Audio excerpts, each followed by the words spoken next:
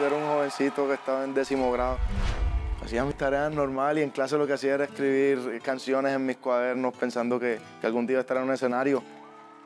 Ya, ya son cumplidos cuatro años de carrera y yo me siento nuevo, yo siento como si esto acabara de empezar. Yo tengo más hambre, más ganas, más sueño, quiero seguir dándole música y quiero seguir trabajando. Que hable la música. Acá enviarte flores